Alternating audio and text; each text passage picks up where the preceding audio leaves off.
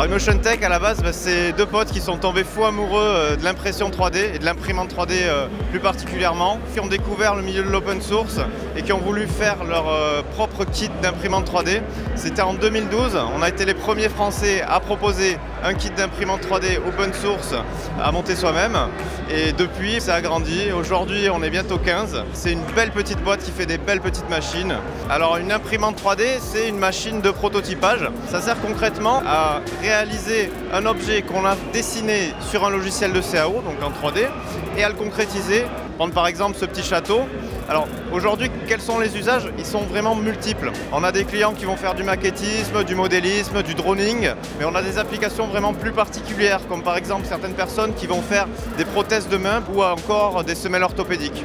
À la base, c'est pour faire du prototype, mais on peut aussi faire du sur-mesure, de la pièce unique. Donc ça peut servir dans certains usages professionnels où le sur-mesure a vraiment une importance. Le cœur de notre activité, c'est vraiment la partie conception. Sur nos kits, toutes les pièces sont euh, conçues maison jusqu'à l'électronique. Ça nous permet concrètement de vraiment maîtriser la chose et de faire des machines le plus performantes possible. Le fait de monter sa machine soi-même a un fort côté euh, ludique et pédagogique, c'est-à-dire que dès qu'on a un problème, on connaît sa machine, on connaît son fonctionnement. Du coup, c'est beaucoup plus facile d'intervenir dessus. Euh, par ailleurs, on a des clients qui sont des vrais passionnés. Et ce qui est sympa quand on a monté soi-même sa machine, c'est que si demain on se dit, tiens, j'aimerais vraiment que ma machine fasse ça et aujourd'hui ça se fait pas, ben, on a la capacité, du moins des bases qui nous permettent d'intervenir dessus, de l'améliorer, de la faire évoluer. À la base, on parlait euh, d'open source, c'est un terme qui est plutôt utilisé dans le milieu du logiciel.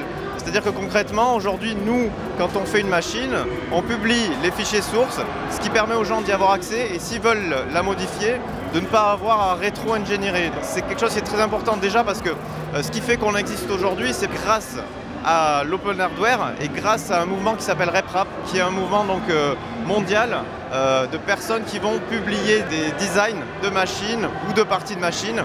Si aujourd'hui on a une gamme professionnelle, c'est parce que comme je le disais tout à l'heure, on a été les premiers à proposer des kits et donc on a été les premiers à proposer des imprimantes à bas coût.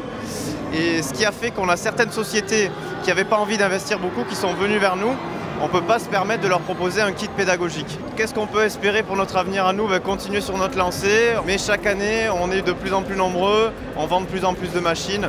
Moi, tout ce que je souhaite, c'est que ça continue, qu'on continue à créer de l'emploi, qu'on continue à faire découvrir la technologie à de plus en plus de monde.